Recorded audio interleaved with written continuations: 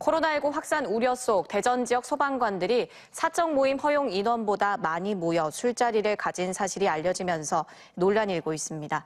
지난 9일 대전 대덕구의 한 글램핑장에 1박 2일 일정으로 소방관 14명이 모여 술을 마시다 시끄럽다는 주위 사람들의 신고가 경찰에 접수되며 이 같은 사실이 알려졌습니다.